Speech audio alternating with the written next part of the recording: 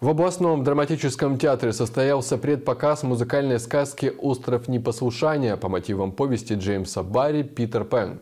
Что ждет юных зрителей, смотрите в сюжете Анны Шинкаренко.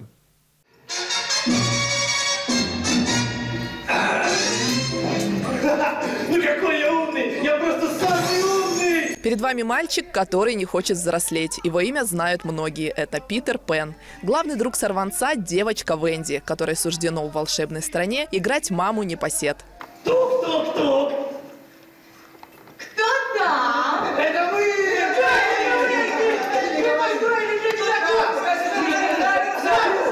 Реку!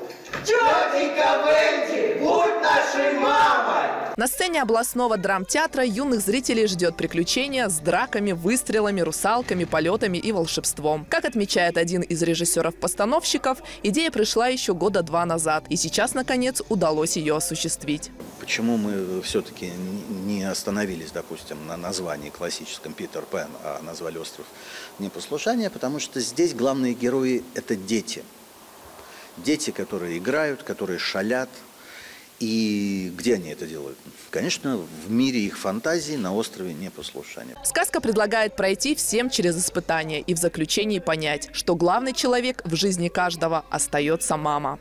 Для меня камертоном всегда является, вот если у меня слезы наворачиваются, значит, вот то, что надо. Вот у меня наворачиваются на этом спектакле слезы, когда вот какие-то грустные моменты, связанные с мамой, с семьей. Поэтому я думаю, что зрители получат большое удовольствие. Режиссеры обещают, что в сказке будет много смеха, музыки и интерактива с детьми. После спектакля Питер Пен и Венди пригласят зрителей в фойе театра для встречи Нового года. Юных северян ждут персонажи спектакля, подарки и Дед Мороз. Премьера состоится в пятницу 23 декабря. Анна Шинкаренко, Данила Клепиков, Арктик ТВ.